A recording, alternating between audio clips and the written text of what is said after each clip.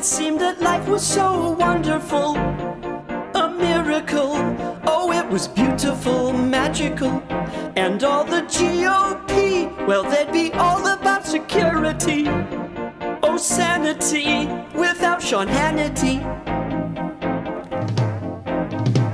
But then they all went away, forgot how to be sensible. Neanderthals, not responsible or practical.